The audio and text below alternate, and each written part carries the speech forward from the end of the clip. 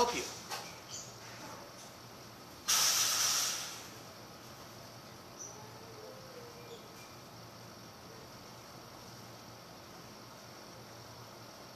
I'll answer those questions in order. First, WiMAX is a special type of wireless networking.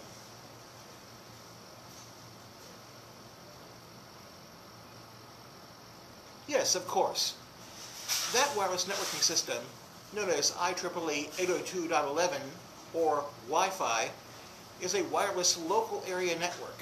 It operates over a typical range of 90 meters or 300 feet and communicates with other computers, printers, mass storage devices, or the internet.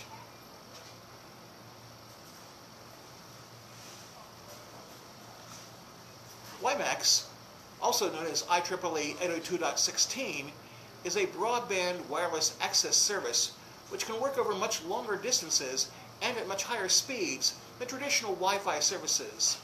The most common way WiMAX is used with a personal computer is by subscription to a WiMAX service provider.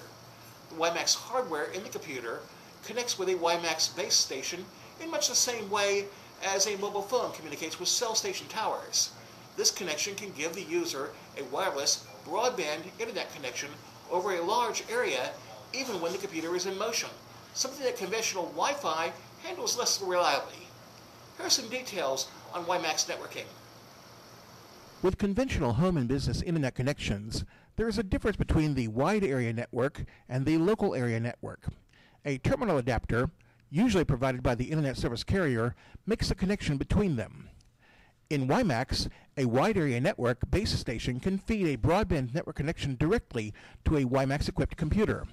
This connection is called a point-to multipoint and works at speeds up to 40 megabits per second and it ranges up to 10 kilometers or 6.2 miles.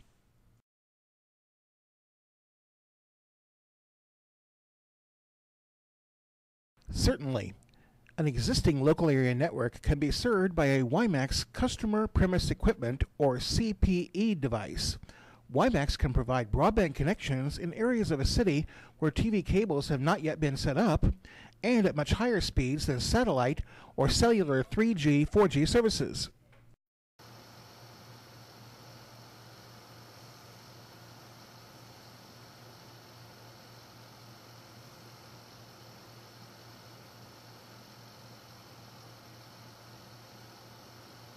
I understand. Whether intentional or accidental, network security breaches are always a hassle. Rest assured, WiMAX is more secure than Wi-Fi. In fact, the levels of security and quality of service are similar to the wide area networks your internet carrier uses for their distribution of data.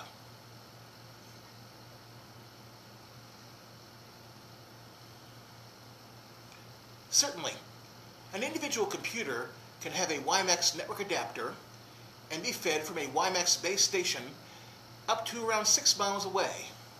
Computers in a local area network can be served by a WiMAX Customer Premise Equipment, or CPE device, in much the same way as your internet carrier's terminal adapter or cable modem works now. And of course, a data service plan with a WiMAX provider gives your office or home its own secure WiMAX connection. Do you have any further questions?